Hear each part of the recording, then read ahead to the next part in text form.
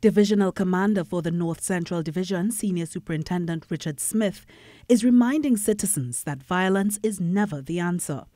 This after four year old Amara Lalittle was found decapitated in her home on Friday night.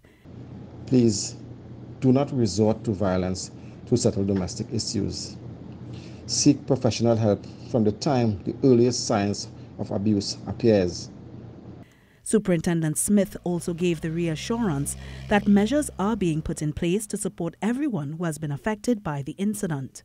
Members of the Victim and Witness Support Unit of the Trinidad and Tobago Police Service have already been engaged to counsel all those who have been impacted by this incident.